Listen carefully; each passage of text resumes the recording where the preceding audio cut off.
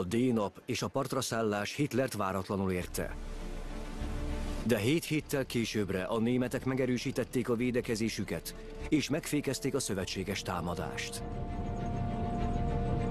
A szövetségesek elhúzódó harcokba bonyolódtak szerte Normandiában. Késlekedett Franciaország felszabadítása. Heves és véres küzdelem várt rájuk, szívós ellenféllel szemben, nehéz terepviszonyok között. Az volt az érzésünk, hogy halálos ítélet lebeg a fejünk felett. Ha meg is érjük az estét, holnap halunk meg. A normandiai kitörés történetét halljuk.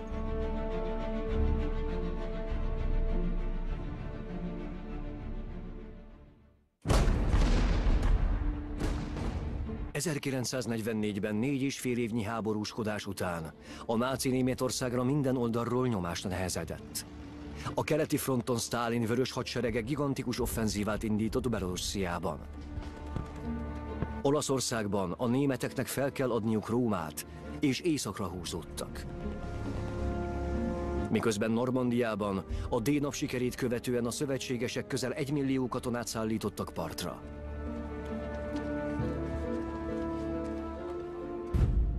Háború menete talán az ő javukra kezdett fordulni. Hét héttel a dénap után az erőik még mindig Normandiában harcoltak.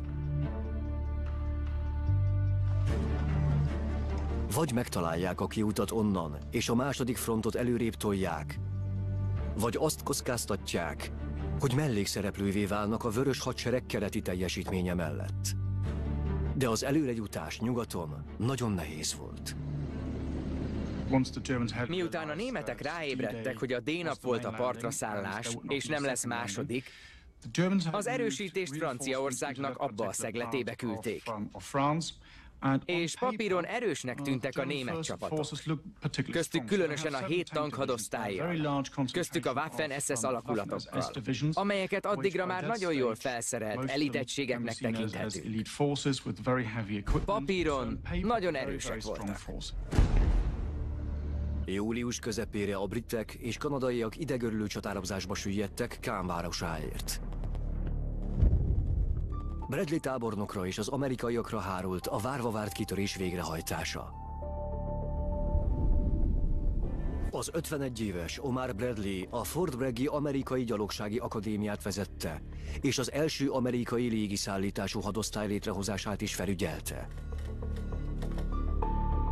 Miután előbb hadosztályt, majd hadtestet irányított Afrikában és Szicíliában.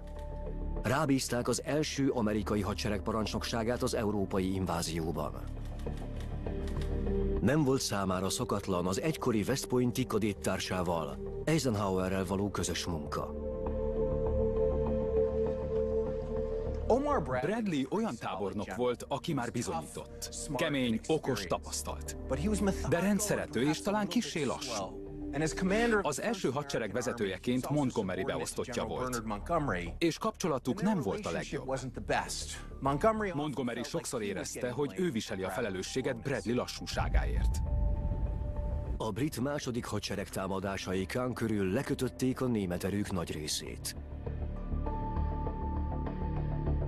Ennél fogva az első amerikai hadsereggel szemben felsorakozó német védelem viszonylag gyengévé vált. Bradley erőteljes támadással tervezett egy szűk lyukat ütni a német vonalakon Ló mellett. Nehéz bombázókat és tüzérséget bevetve, majd az amerikai gyalogsággal és tankokkal benyomulva a résbe, egészen Avransig, biztosítva a kitörési utat Normandiából. Ezzel párhuzamosan a brit-kanadai csapatok újabb támadásra készültek Kannál, megakadályozva, hogy a németek Bradley offenzívájára reagálva csapatokat vezényeljenek át. A szövetségesek hegemóniája egyértelmű volt Normandia légterében.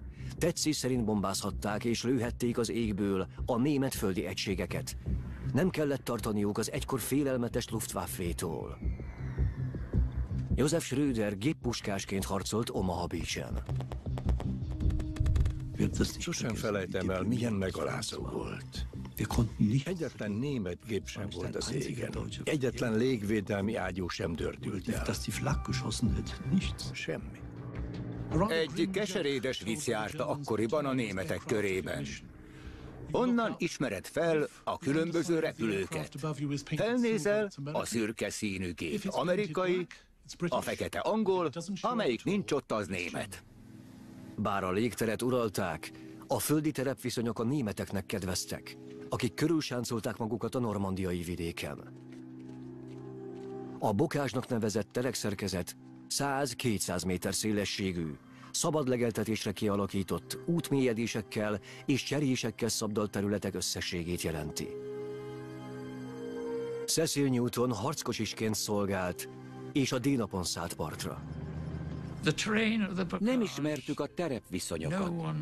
Meglepetésként sokként értek minket a magas bokrok és a telkek közti szakadékok, ahol az utak vezettek.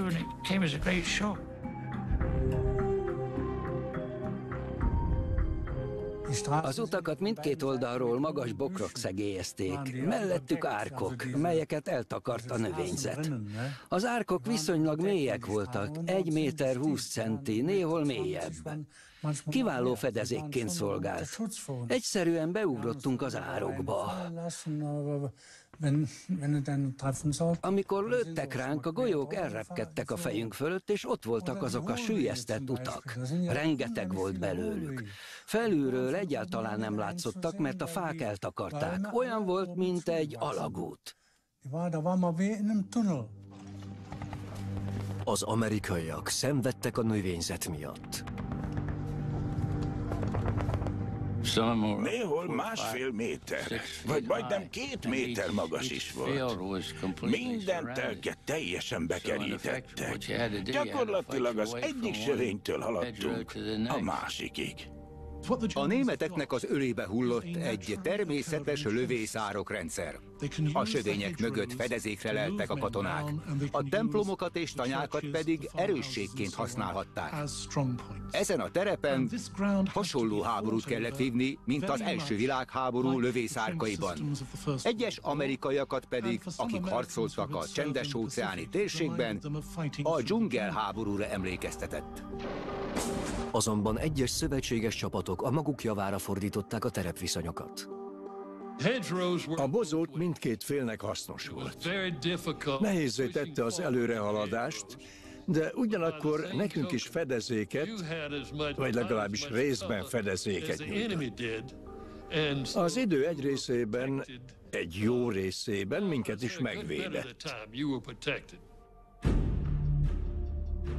Az invázió tervezői úgy gondolták, hogy a partra szállást követően néhány nap alatt át tudnak vágni ezen a vidéken.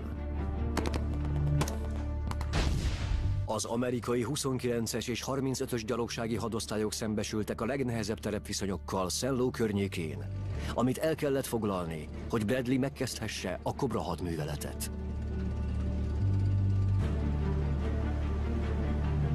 A 29-es hadosztály a D-napon az Omaha Beach-en esett át a tűzkeresztségen. Most egy másfajta pokolba kerültek. Minden egyes utat és kereszteződést német aknák vagy rejtett ellenséges állások védtek. A bokázson Vigyázni kellett, hogy hová lépsz. Óvatosnak kellett lennünk. Szétszóródva kellett mozognunk. Gyalogsági katonaként fontos volt a jó ítélő képesség. Az amerikaiaknak improvizálniuk kellett, hogy utat törjenek a sűrű növényzetben. Nem mindig volt egyszerű. A szöges drót ellen Bangalore torpedót használtunk. De a sövény nem robbanthatjuk fel vele. Az egy kis domb, ami évszázadok óta, a normannok ideje óta nő.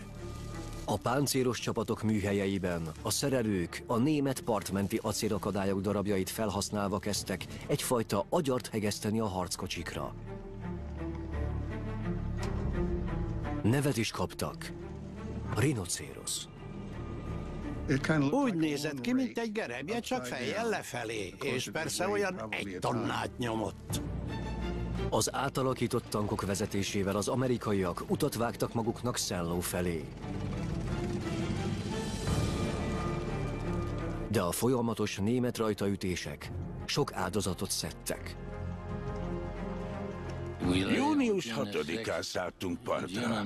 9-én már szállóban kellett volna lennünk. De 6 hétig tartott, még elfoglaltuk. Még átjutottunk a telkeken. Azt mondanám, próbáltunk a fegyvereinkkel annyi zavart okozni, amennyit csak lehet. Amikor már eleget lőttünk, Hátráltunk 50-100 métert a következő bozótig. Azok életmentők voltak nekünk. Különben nem jutottunk volna semmire. Majd hátráltunk újabb 50-100 métert. Az amerikaiak pedig azt a helyet lőtték, ahol előtte voltunk. Mi meg már Két-háromszáz méterrel hátrébb jártunk. Július során a Szelló eléréséért folytatott kéthetes harcban az amerikai 19-es hadtest 11 ezer fűt veszített, és mindössze 5 mérföldet haladt. A következő mezőre léptünk. A németek mozsarakkal lőttek minket. Láttam az ezredesemet Terry ezredes, ahogy ment ott, eltalálta egy mesterlövész. A földre zuhant, leesett a sisakja, és halott volt. Aztán 20-25 perccel később, vagy talán egy fél óra is eltelt, engem egy repeszgránát szilánkja sebesített meg. Visszaszállítottak Angliába.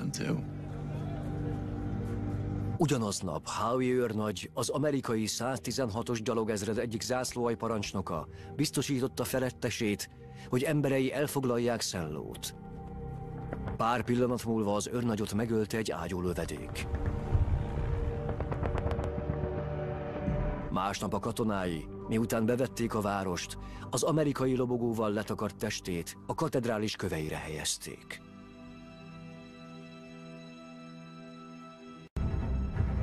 Szenló leckéjét megtanulta Bradley, és a Cobra hadművelet sikere érdekében megsemmisítő tűzerő bevetését alkalmazta. Ebben nélkülözhetetlen volt az amerikai 9. taktikai légiparancsnokság teljes támogatása, mintegy 400 repülővel.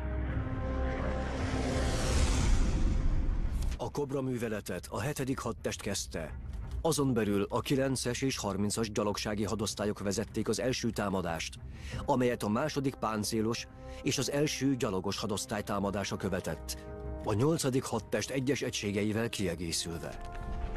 Készenlétben állt a harmadik amerikai hadsereg George Patton tábornok vezetésével, hogy kihasználja az első hadsereg által megnyitott rést. Bradley első hadserege ugyanakkor kezdte meg a Cobra hadműveletet, amikor a második brit hadsereg a Goodwoodot, vagyis a végső Kán elleni rohamot.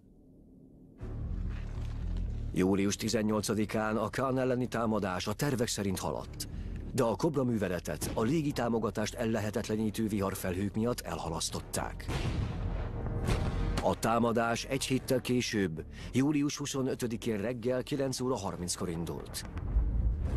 Az első szakaszban erőteljes légibombázást kaptak a német állások egy 6 km széles területen, 1 km mélységben.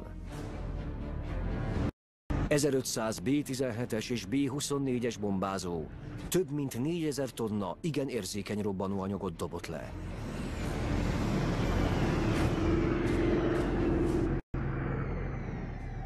Mintha a bombázók futószalagon érkeztek volna. Onnan, ahol én álltam, egészen addig, amíg a távcsővel elláttam. Végig bombázók. Just bombers. Bombázás nagyját a lerpáncélos elithadosztály kapta. Mintegy ezer embert veszítettek, az állomány egyharmadát. A fronton lévő egységeket érte leginkább a bombázás. Első világháborús kifejezéssel élve gránátnyomást szenvedtek el. Használhatatlanná váltak. A harci szellemük is elszállt. Maga a pokol. Olyan, mint a pokol. Ott fekszenek mozdulatlanul, belenyugvással, várva a halált vagy a lövedéket. Arra sem reagálnak, ha a légnyomás a levegőbe emeli őket. Sokukat a robbanás ereje egyszerűen beledob arccal lefelé azokba a kráterekbe.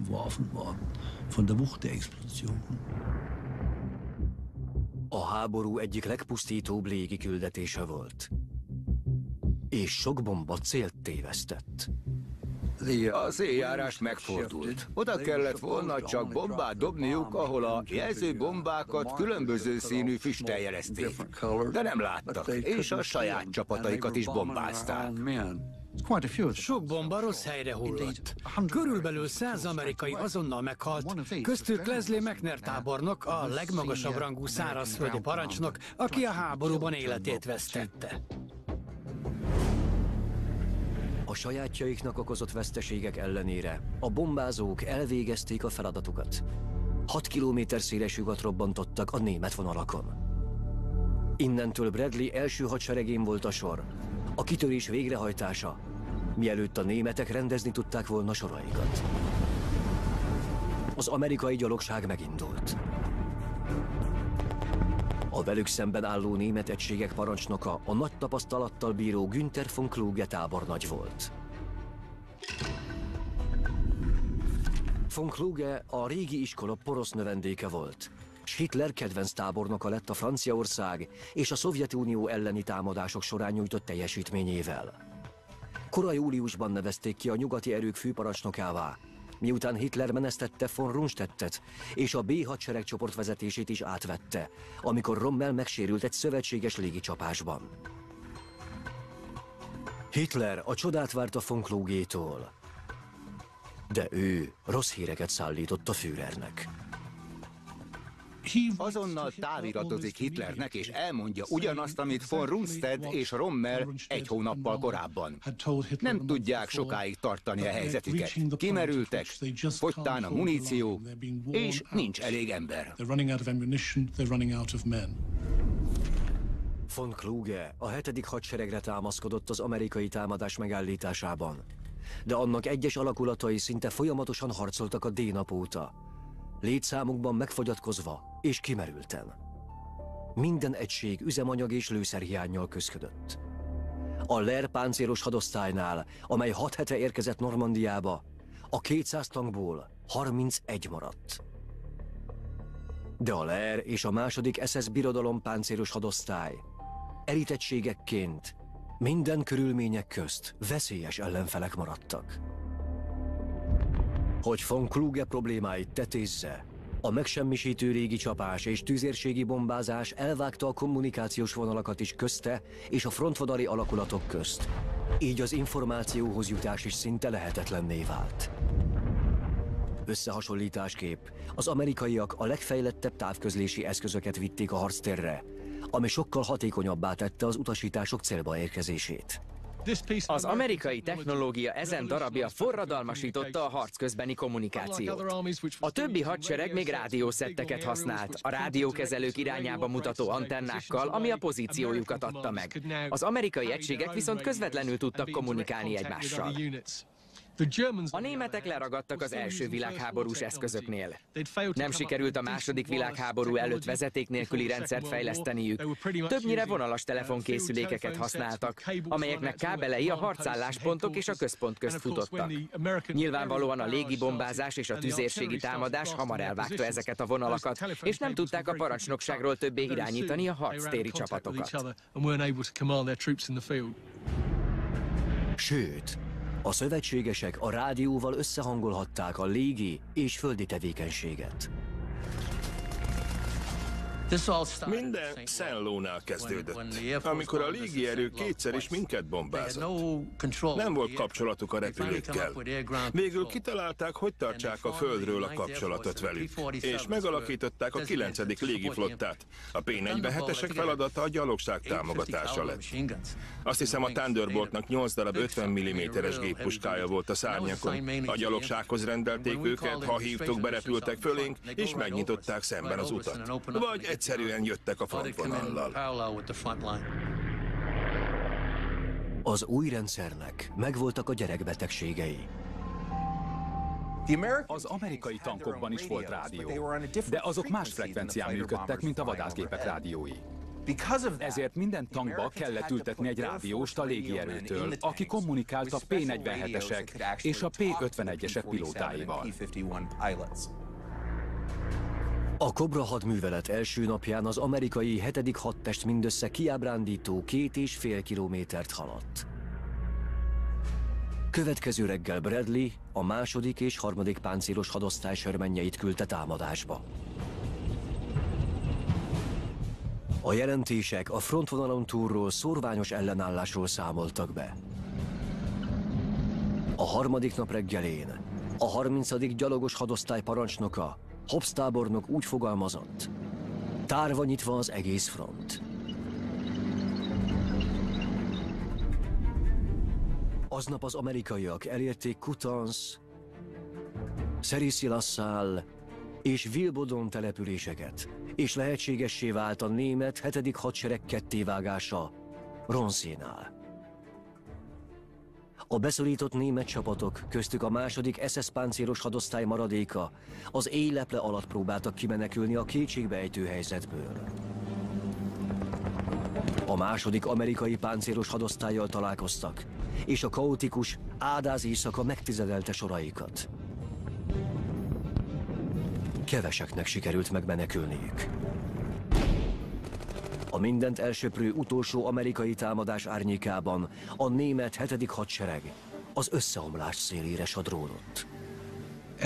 Csak miután a bombázást követő áttörésük sikerrel járt és elérték Avranst, jöttünk rá, hogy nem fogunk már sokáig ott maradni. Részt vettem volna az Avransi ellentámadásban, de lefújták. A németek tömegesen adták meg magukat. Egy nap alatt 7000-en. Az utakon felgyülemlett német foglyok jobban hátráltatták az amerikaiak előrehaladását, mintha ellenálltak volna. Július 30-án az amerikai negyedik páncélos hadosztály elfoglalta Avranst, következő nap pedig sértetlenül a stratégiai fontosságú hidat Pontobolban. A híd jelentette a kaput Bretányba. Elérkezett Patton és a harmadik amerikai hadsereg ideje. Patton már karrierje kezdetén úgy vélte, a katona dolga menni és lőni. Ha nem mész és nem lősz, akkor nem vagy katona. Megkapta az esélyt, hogy a hadseregét átvezesse a folyón Bretányba. A jobb horog, amely megtántorítja a német védelmet, és átkarolja az ellenséget. Három nap alatt hét amerikai hadosztály kelt át a Pontobóri hídon, nyugatra tartva Brötányba, délre a Loire felé, és délkeletre Le Mansnak.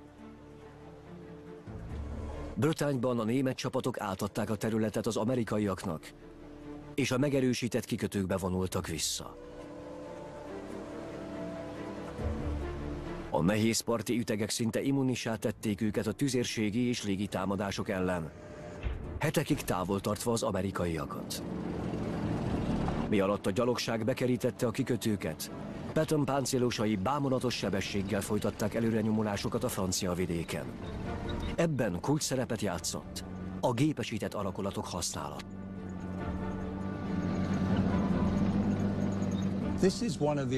Ez az egyik amerikai talpas, amit a második világháborúban gyártottak. Már a háború kezdete előtt kísérleteztek az amerikaiak, hogyan tudnák gépesíteni a hadsereget, ha háború lesz. Amikor az kitört, az M2-es felderítőkocsi elejéhez hosszabb lánctalpas hátsó részt építettek. Több cég elkezdett fél talpasokat gyártani, és a háború végéig 55 ezer ehhez hasonló amerikai jármű készült. A náci propaganda elhitette, hogy az ő hadseregük az, amelyik teljesen gépesített, ám valójában a szállításaik 80%-át lovakkal bonyolították, nem páncélozott járművekkel vagy teherautókkal not armored vehicles or trucks. 11 millió ló állt a hadsereg rendelkezésére, azokkal biztosították a hihetetlen mennyiségű utánpótlás eljuttatását. Ez a kontraszt rávilágít az amerikaiak fölényére. Egy gomb megnyomásával az autóiparuk átállt ekkora mennyiségű megbízható, egyszerű és hatékony jármű gyártására.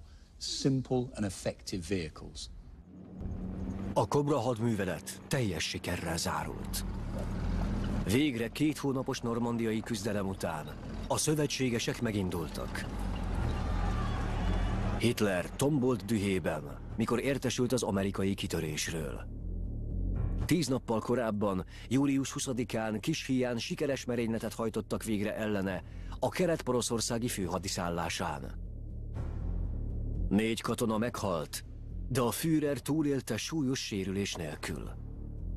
Meglátogatta a kórházban a merényletben súlyosan megsérülteket. Mint kiderült, merénylői katonatisztek voltak. A normandiai csata végére a tábornokok nagy része, beleértve Rommelt is, tudta, hogy a háború elveszett. Kétségbe esetten próbálták megmenteni Németországot és a német hadsereget.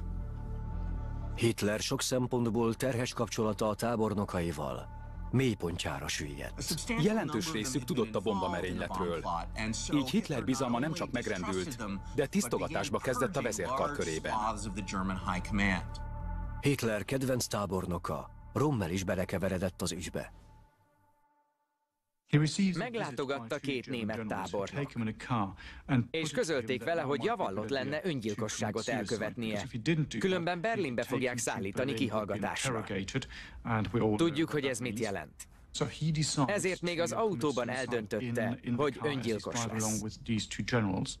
A júliusi merénylet kísérlet után végrehajtott tisztogatás eredményeként Hitlernek alig maradt nagy tapasztalattal rendelkező tábornoka, aki a nyugati fronton bevethető lett volna. Nem csak a katonai tevékenységek részletein tartotta rajta a szemét, megfelelő parancsnokot is nehéz volt találnia. A franciaországi német tábornokok Kezdetben von Rundstedt és Rommel, majd von Kluge hetekig kérlelték Hitlert, hogy feladhassák Normandiát, és a szajnánál rendezkedhessenek be védekezésre. Mostanra ez maradt az egyetlen opció. Mégis von Kluge legnagyobb döbbenetére Hitler ellentámadást rendelt el. A parancs szerint a maradék néhány páncélos hadosztályt kellett Normandiában összegyűjteni, és Morten felül a part Ávrons irányába támadni, hogy elvágják Patton hadseregét. A hadművelet a Lüttich kódnevet kapta. Ám a szövetségesek tudtak a németek szándékáról, hála az ultrafedőnevet viselő hírszerzési információknak, melyek az enigmával kódolt, elfogott és megfejtett német katonai üzeneteket takarták. De ez alkalommal a 150 tankkal és elit Waffen SS alakulatokkal végrehajtott német ellentámadás híre csak az utolsó pillanatban érkezett meg a fronton harcoló amerikai egységekhez. A Morten körüli elkeseredett harcok során a 30-as gyalogsági hadosztály egyik zászlóalját, amely a 314. számú dombon ásta be magát, körbekerítették. A súlyos veszteségeik dacára tartották állásaikat, kihasználva a lehetőséget, hogy tüzérségi és légi támogatást tudtak kérni. Amerikai és brit vadászbombázók egymás után mértek csapásokat. 24 órán belül a német offenzíva hirtelen megállt. Ráadásul Hitler döntése sebezhetővé tette őket egy szövetséges ellentámadással szemben. A legjobb német hadosztályok tömörültek össze egy védtelen kiszögellés nyugati csücskében. Montgomery meglátta az egyedülálló lehetőséget a német erők bekerítésére. A Sárt és Orléans felé gyorsan haladó Patton parancsba kapta, hogy egy hadtestet küldjön északra, Argentonba. Miközben a frissen alakult első kanadai hadsereg délre nyomult, a Falaise falujára néző magaslat felé. A Totalize hadműveletben, melyet Guy Simmons vezérőrnagy második kanadai hadteste vezetett, brit, kanadai és lengyel csapatok vettek részt. Az első félelmetes akadályt, melybe ütköztek, a Verrier gerinc jelentette, ahol két korábbi áttörési kísérlet fulladt kudarcba, közel 3000 főnyi áldozattal járva. Simmons légibombázással akarta előkészíteni a gépesített alakulatok támadását. De elégséges számú páncélozott csapatszállító hiány a gyalogság megvédése lett a kérdés. Az egyik probléma, amivel a szövetségesek Normandiában szembesültek, az volt, hogy a tankok előre nyomulásakor gyakran lemaradt a gyalogság. A kanadai parancsnok zseniális javaslat talált elő. Fogjanak néhány felesleges önjáró löveget, vagyis tank alvázra épített tüzérségi eszközt, vegyék le az ágyút, és készítsenek egy erősen páncélozott csapatszállító járművet. A Totalize hadművelet során alkalmazták ezt először. A gyalogsági egységet lánctalpas páncélozott jármű szállítja, amely tudja követni a tankokat. Ezzel meg is ágyaztak a következő innovációnak. Felesleges tankokat, mint például ez a REM alakítottak át. Levették a tornyot, és egy csapat gyalogsági katonát lehetett szállítani, két főnyi személyzettel a jármű elején. Így nagyfokú védelmet kaptak a harctéren, ami a többi katonának nem adatott meg. A Kenti Ian Hamilton harckocsi parancsnokként szolgált a D-naptól a háború végéig. A Totalize hadműveletet eredetileg éjjel akarták megkezdeni. Először a brit légierő egyik éjszakai bombázója Lancaster szórta volna meg a német vonalakat. Ezután a tűzérségi támadás következett volna, majd éjjel 11 óra tájban mi jöttünk volna. Sötét, fekete éjszaka volt.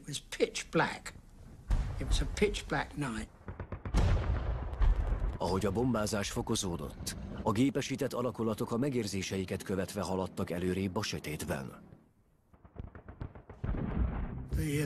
Az egész támadást lánctalpakon akarták végrehajtani, azaz tankokkal. A gyalogság csak később jött volna. Négy hullámba osztottak minket, elől pedig aknataposók mentek. És hogy segítsenek tájékozódni, Boffers légvédelmi ágyuk lőttek ötösével nyomjelző gránátokat.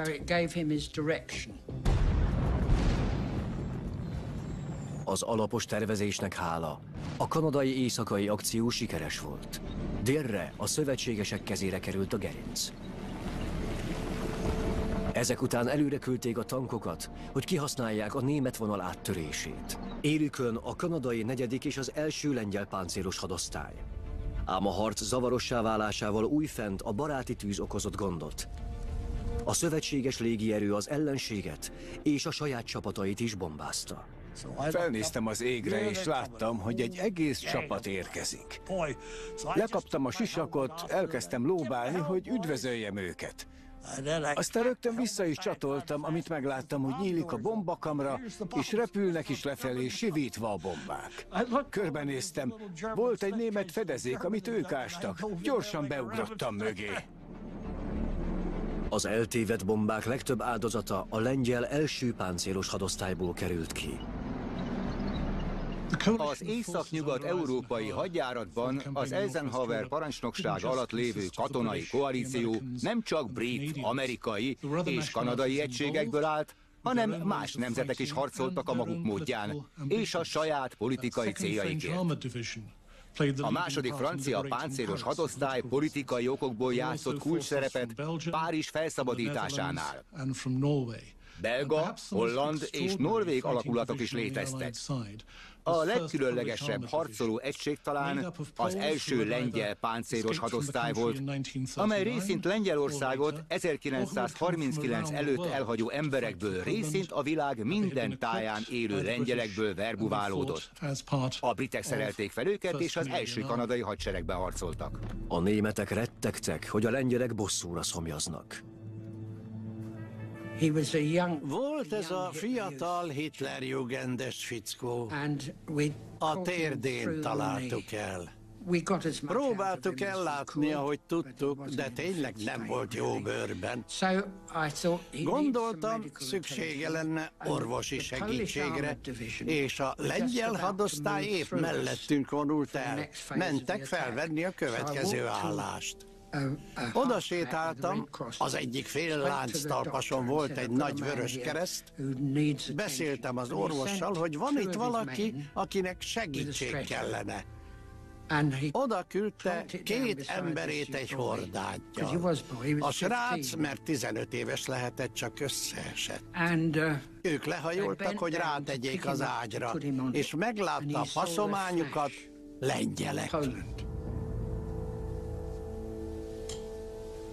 lengyelek. Nem akart velük menni. Nine, nine, nine. De felkapták, ráfektették a hordágyra és elvitték. Sokszor eszembe jutott, mi történhetett vele. A hírhet 12. SS Hitlerjugend páncélos hadosztály tagja volt. Ők vezették a Totalize művelet elleni ellentámadást. Hét tigris tank támogatta őket, a híres Michael Wittmann irányításával. Egykor a szövetségesek rettegték ezeket a német nehéz harckocsikat, de most már volt fegyverük ellenük. A britek egyik problémája az volt, hogyan építsék bele az új 17 fontos páncéltörő ágyújukat a tankjaikba. Improvizáltak, és belepasszírozták a sörmenbe. Azonban ez az ágyú elsütésekor nagyobb kárt tudott okozni a tankjukban, mint a Tigris 88 mm-es lövege. A Totalize hadművelet során a britek éjszaka és a Kámból Fálészbe vezető út mindkét felén szétszóródva haladtak előre. A németek természetesen, hiszen ez az alapelvük, gyorsan ellentámadással reagáltak. Wittmann a Tigris tankjában egy útkereszteződés közepére megy. Mikor felhajt a főútra, ami összeköti Kánt Fálézzal, a Northants Yeomanry tankegysége elé kerül. A fiatal lövész Joe Akins ül az egyik Sherman Firefly-ban, amelyik előbukkan a fák takarásából, és a hátsó tigrist veszi célba. Majd sorban a többi német harckocsit. Ezzel egy időben a völgy másik oldaláról a kanadai harckocsik is tüzelni kezdenek. Van benne egy kevés irónia, ahogy a brit és kanadai erők együttműködnek a náci propaganda egyik ikonjával, Michael Whitmannel, a híres SS páncélos parancsnokkal szemben. A következő napon, augusztus 9-én kanadai csapatok indultak meg Fálesz felé. A németek kétségbeejtő helyzetbe kerültek, de nagy elánnal harcoltak tovább, Ené Woodsért és a 195-ös dombért. Elvesztettünk jó néhány embert, körülbelül 20 Az örmesterünk az egyik percben még ott volt mellettem, vagy pontosabban nem messze tőlem, aztán a következőben már nem. És nem tudom, mi történt vele. Az ő egységüket is visszarendelték. Valójában a korai sikerek ellenére a Totalize hadművelet fennakadt a német védelmi vonalon. A szövetséges parancsnokok bíztak benne, hogy a németeket körülzárhatják Falez elfoglalásával, de nem sikerült a bekerítés. De Simons nem adta fel. Augusztus 14-ére a brit, kanadai és lengyel csapatok készen álltak az újabb támadásra. A támadásra, amely a vezetőik reményei szerint megpecsételi a németek sorsát Normandiában. Hitler eközben úgy tűnt, a teljesen hiába való ellentámadások elrendelésében éli ki magát. Egészen az utolsó pillanatig nem volt hajlandó elfogadni annak kockázatát, hogy a németeket körbezárhatják. A visszavonulásra adott engedéllyel egyidejűleg menesztette a nyugati főparancsnokot, von Klugét, aki hetekig próbálta elérni nála a visszavonulást. Hitler úgy érezte, Kluge csalódást okozott, és gyanakodott, hogy titokban a szövetségesekkel kezdett tárgyalni, ezért visszarendelte őt Berlinbe. Kluge tudta, hogy megpecsételődött a sorsa. Egy hosszú, csapongó levelet írt, magyarázva, miért nem az ő hibája, és mindenki mást felelőssé tett. Majd öngyilkos lett. Augusztus 19-én az első lengyel páncélos hadosztály elérte a 90. amerikai gyalogos hadosztályt Samboánál. Ezzel bezáródott a gyűrű 15 német hadosztály körül. Két napig harcoltak német elit SS egységek és ejtőernyősök, hogy menekülési utat nyissanak a szüntelen szövetséges bombázások közepette. Szörnyűséges. Nem lehet. Tudod, hogy nincsenek szavak, amik leírják. Különösen Faleszben. A zajt, mindent, a fegyverropogást, a folyamatos dübörgést. De próbálod. A parancsokat nem lehet hallani, csak követed őket, és reméled, hogy jó irányba mennek. A brit tájfúnok egyik bevetésről a másikra mentek. Pusztítást hozva a bekerített német erőkre.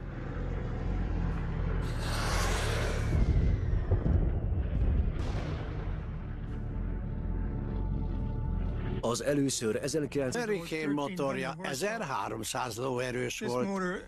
Az, amit a Typhoonba építettek, 2400. Egy szörnyeteg.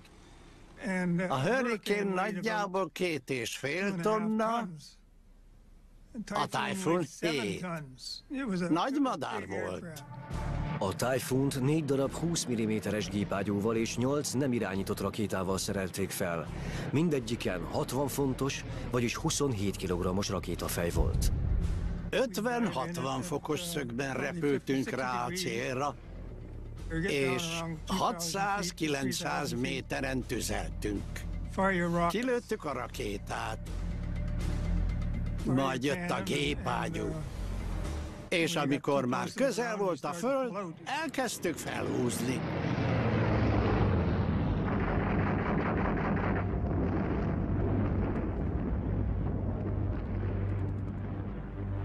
Augusztus 21-én a szövetségesek elzárták az utolsó menekülési útvonalat. A körbezárt német hetedik hadsereg minden oldalról szűnni nem akaró ágyútüzet és légicsapásokat szenvedett el. A német katonák számára Falaez vált a pokollá. Ezreket öltek meg. A mintegy 50 ezer túlélő megadta magát. Mindkét fél rosszul volt már a mészárlástól. Haza akarok menni, haza. Ezt hajtogatta. Tudom, mire gondolt, mert én ugyanarra. Fejezzük már be végre, és menjünk haza. Adtunk nekik cigarettát, vizet, meg amit még kértek. Nem volt bennünk gyűlölet irántuk. Az óráikat, a pénzüket, meg ami még volt náluk, azt elvettük. Gondoltuk, ez rendben van. Ennyi járt nekünk. De tiszteltük azokat a fiúkat. Azt tették, amit tenniük kellett. Amikor vége lett, ők is ugyanúgy örültek. Akik megadták magukat, tízezer bajtársuk holtestén lépkedtek át. Több száz járművet és ágyút hagytak hátra. És több ezernyi lovat, amelyeket egy üzemanyagból kifogyó hadsereg használt szállításra. Az a szörnyű káosz ott a németekkel. Rengeteg ló volt, a felszerelés és rengeteg halott. Mindenhol feküdtek. A roncsok között. Ha éreztünk volna bármi részvétet irántuk, akkor veszítettünk volna. Olyan volt, mint egy mészárszék. Falezre gondolva az ember megsajnálja őket. Mert Hitler idióta parancsai miatt kerültek harapófogóba, és elkezdtünk együtt érezni velük, ez a legszörnyűbb. De voltak köztük fanatikus katonák, akikről tudtuk, hogy nem kímélnének. Amikor a szövetségesek főparancsnoka Eisenhower meglátogatta a harcteret, azt a következő szavakkal írta le. Kétség kívül a háború egyik legnagyobb vérfürdője. Több száz métert lehet sétálni holtakon és oszlóhúson járva.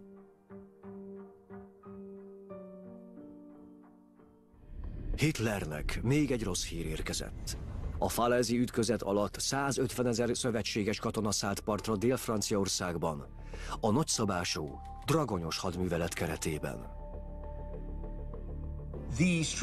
A sikeres kitörés Falaise, majd Párizs irányába, illetve a dél-franciaországi partraszállás eloszlattak minden német reményt Franciaország megtartására. Hajsza vette kezdetét. A németek igyekeztek minél hamarabb keletre húzódni, és találni egy pontot, ahol kiépíthetnek egy védelmi vonalat. A fálezikatlan összeomlásakor Patton egységei már hídfőket létesítettek ott, ahol a német tábornokok a következő védelmi vonalukat remélték kiépíteni. A Szajna mentén. Patton legnagyobb gondja többé nem a németek ellenállása, hanem a saját csapatai üzemanyag ellátása volt. Franciaország szerte gyorsabban haladtak előre a szövetségesek, mint a németek az 1940-es villámháború során. Naponta újabb településeket szabadítottak fel. A francia lakosság szeretettel, kedvességgel, borral, csókkal, alkohollal, narancsokkal fogadott minket. Volt egy idegesítő szokásuk, Gyümölcsökkel dobáltak minket. Sok tank személyzetének fekete lett a szeme körül minden az almáktól. De minden nagyon szépnek tűnt. Sikoltoztak. A Marseillaise-t és a God Save the King-et énekelték. Mindent, ami eszükbe jutott. Soha nem volt ilyenben részünk. Ám a szörnyű pusztítás és szenvedés, amit a szövetséges bombázás okozott, nem múlt el nyomtalanul a helyiekben.